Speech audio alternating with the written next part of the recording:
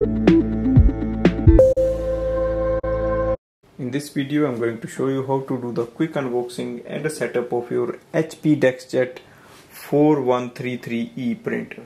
So let's start the unboxing.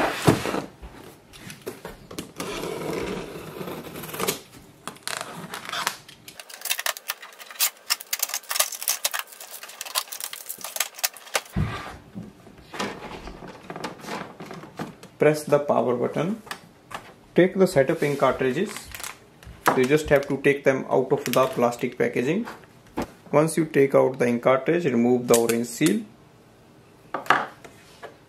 Remove it for both ink cartridges. Open the front door. You can see there is a one door here and the ink door is here. Wait for the ink cartridge chamber to move and come install the black ink cartridge here. Push it in. You will hear a sound. And then for the coloring cartridge.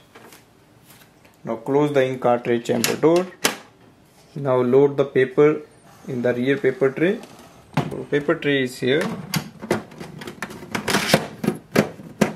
Place the A4 size sheet or letter size paper.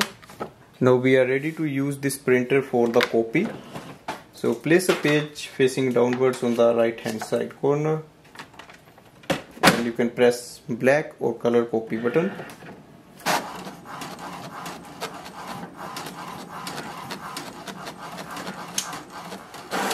Next is to do the wireless setup. So we will do for wireless printing and scanning.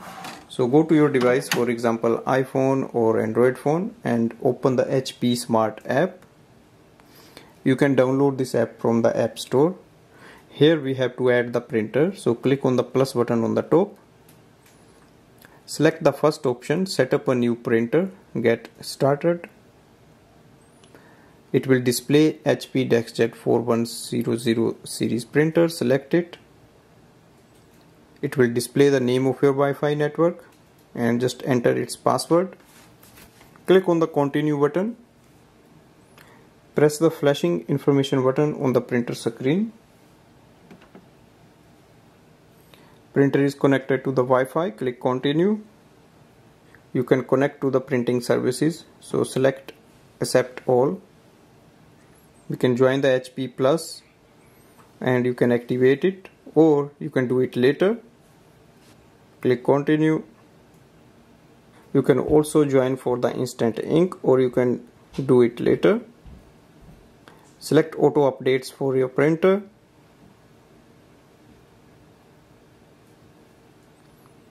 Setup is complete. If you want you can print this page or you can skip the printing page.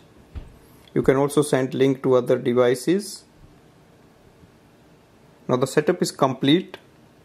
You should be able to see your printer on the top HP DeskJet 4100 with estimated level of ink from here we can start using it for wireless printing and scanning. For example to do a scan you can go to the print scan button then place a page in the printer. You can also use the top feeder tray if you want. So that's quite handy. So just place it like this facing here facing upwards and then click on the scan button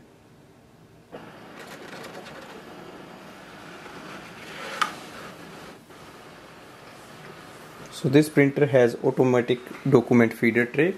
So you can scan multiple pages here all together. The scan has arrived here. Now we can save it or we can share it. So this way we can do the complete setup of this printer and then we can start using it for wireless printing and scanning.